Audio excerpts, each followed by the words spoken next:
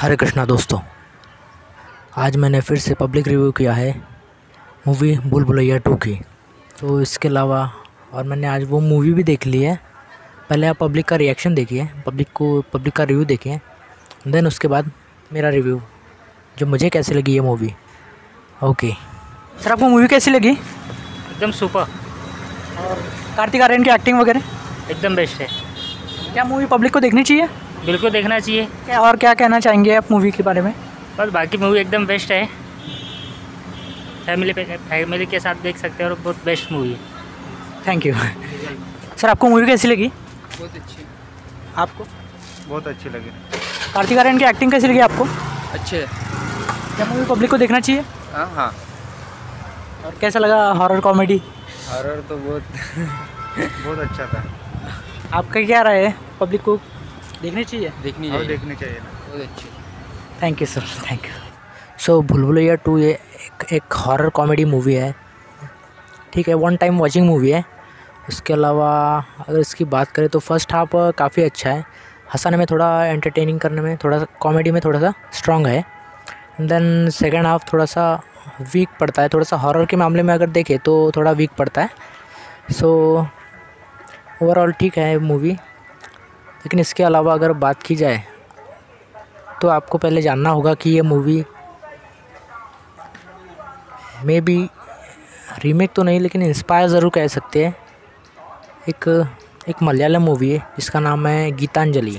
सो आप ये मूवी देख सकते हैं, क्योंकि अगर आप ये मूवी देखोगे, अगर आप ये मूवी देखते हो तो इसके फ़र्स्ट हाफ़ में जो एक स्टोरी है, एक एक्टर की स्टोरी है, जो बताते हैं उसमें उससे थोड़ा सा ऐसा लगेगा कि ये मूवी कहीं ना कहीं रीमेक या इंस्पायर्ड है। तो मैं कहता हूँ ये रीमेक तो नहीं कह सकता, इसे इंस्पायर कहूँगा थोड़ा बहुत। और जब आप क्लाइमेक्स में देखते हैं तो ट्विस्ट ट्विस्ट जो है वो बेहतर है। तो इस ट्विस्ट को देखते हुए मैं चाहूँगा कि ये मूवी आप वन टाइम वॉचिंग तो देख ही सकते हैं। फ़िलहाल फ़र्स्ट हाफ़ ठीक ठाक है। इंटरवल तक के आपको एंड इंगेज करके रहेगा ये मूवी आपको ये मूवी देखनी चाहिए वन टाइम वॉचिंग में भी।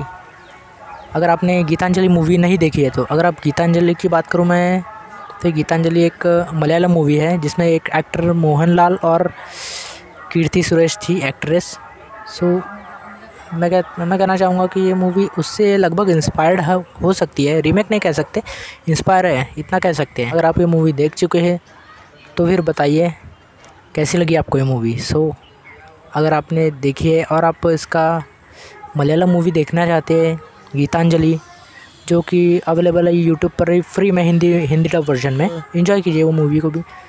अगर आपने वो मूवी नहीं देखी है तो आपको ये मूवी काफ़ी इम्प्रेसिव लगेगी। और हाँ कॉमिक टाइमिंग थोड़ा सा अच्छी है। वैसे तो कॉमेडी वगैरह अच्छी है। कार्तिक आर्यन की एक्टिंग वगैरह तो फ़र्स्ट क्लास है। सो अब बात करेंगे हम कार्तिक आर्यन के बारे में। सो so, कार्तिक आर्यन ने इस मूवी में काफ़ी बेहतरीन काम किया है।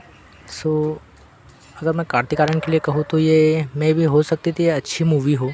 उनकी जो एक्टिंग है वो काबिल तारीफ़ है लेकिन लेकिन अब उन्हें थोड़ा सा स्क्रिप्ट चूज़ करने में थोड़ा सा हिचकिचाना नहीं चाहिए। मतलब मैं ये कहना चाह रहा हूँ कि स्क्रिप्ट उन्होंने एक अच्छी चूज़ करें ताकि वो अपने एक्टिंग एबिलिटी को और इम्प्रूव कर सके। इसके अलावा अपनी ऑडियंस बढ़ा सके अपनी फ़ैन फॉलोइंग बढ़ा सके इतना मैं कहना चाहूँगा। मैं यही चाहता हूँ कि कार्तिक आर्यन एक अच्छी स्क्रिप्ट चूज़ करे, जिसमें अच्छी अपनी बेहतरीन एक्टिंग का नमूना दिखाए पब्लिक को इम्प्रेस कर सके। Best of luck for Kartik Aaryan. So thank you